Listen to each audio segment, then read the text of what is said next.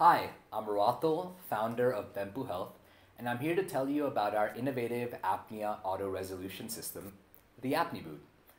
Ap- apneas in newborns are very serious events, and if not addressed immediately, they can result in prolonged hypoxia and injury for the newborn.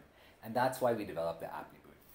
ApneBoot uses pulse oximetry to monitor the heart rate and oxygen saturation of a newborn. If an apnea is detected, ApneBoot has a special probe on the foot of the newborn that provides a vibration stimulation that serves as a first line of defense to restart breathing in the newborn immediately. The vibration is like this.